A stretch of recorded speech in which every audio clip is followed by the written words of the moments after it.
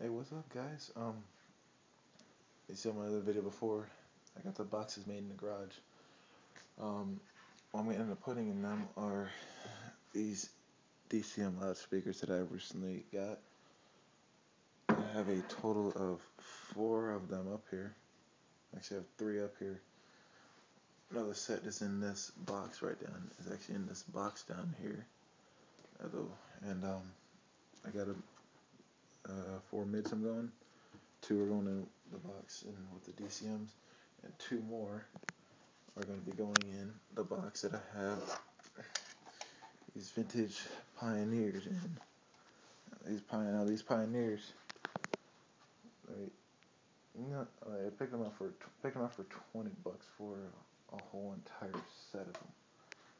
And it came with two woofers in each of them. They're, they're paper cones with a um, paper surround also. So I mean, not, but they're they handle 150 watts, you know. So I got four. I got four of them under here. Now, the tweeters for my DCMs. I'm gonna be using these tweeter horns that I've had laying around. That I figured why not put them in. And for the Pioneers, I'm gonna use this stock, the stock tweeters that came out of them. Like, it's these things can these things, those things sound those things still sound good. Now the reason why I'm not using the mids out of it, here's one mid. Then here's the other mid. This mid is smaller than this than the one here. Only other issue I have that the mid on one of these, my cone is my cone is completely come apart from there when I got it when I picked it out of the box. Now the other one had almost the same exact issue, except there was a hole in the side of one, a hole in the side in the cone here. So I ended up cutting the whole entire cone out. I'm gonna try to take that voice coil out of there, or maybe recone it with something different. Make it not make it sound really good.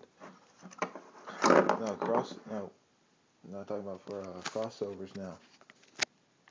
For the DC for the DCMs up here, I'm going with the stock crossover that came. Uh, I'm going with the stock crossover that came with them. Now all these, I already have all the set points for it for the uh, woofers in the mids.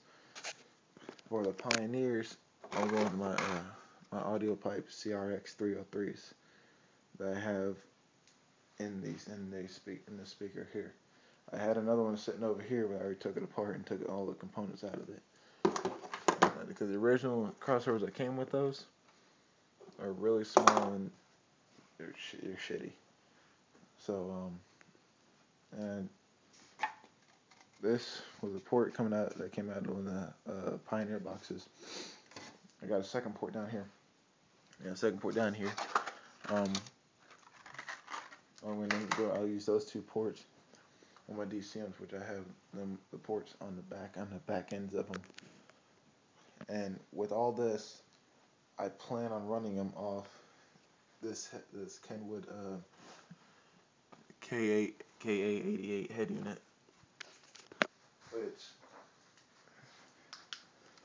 K88 head unit here, which has all the uh, the own equalizers on it.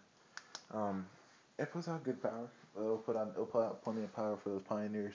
DCMs are probably gonna be one star for power on it, so I'm looking for another um, receiver that can put out the put out the amount of power that I need for the DCMs.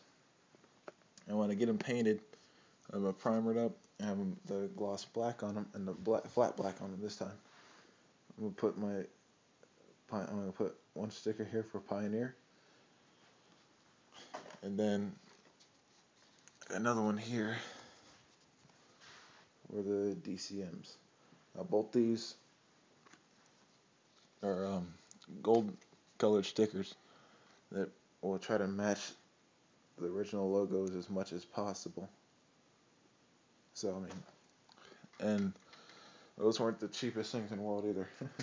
They're 35 bucks for two Pioneers and two DCM stickers. So, I mean, they're not cheap, but um, these Rindle speakers came out of DCMs and uh, they're not bad. Just I want something that you have something that can that handles more power out of it. That will give me more more uh, sound reproduction from it. I have these tweeter horns here also that I actually had in a box before. They sound good too. I mean, I might find something to do with those. I'm gonna end up doing in the, what I'm gonna end up doing in the long run is I'm gonna take I'm gonna take my old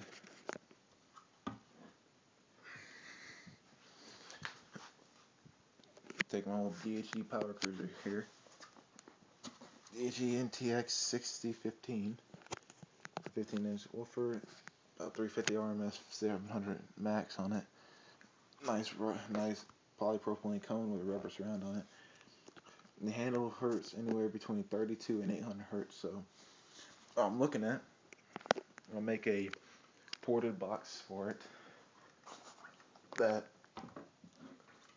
coming from a coming from a receiver I'm getting I'm gonna I'm planning on getting an external uh we're gonna plan on getting a um, power amplifier for it too. Uh, what I'm gonna try to do is put that in a nice sealed nice ported box and have that 800 hertz low pass cross uh, crossover in it. Now this off of uh, Parts Express and it's only $8.82 for it can't beat that kind of price for it. And that's only, and what I'm to do, I'm figure out a way to mount that in the box also, simply. Solder all connections, make it look really nice. And it's to sound even better. So, keep uh, I'll keep you all updated on everything. And, um, you know, subscribe to me. Got any questions? Shoot them up on shoot them up on comments or ask them. I'll answer them the best I can. Peace out, guys.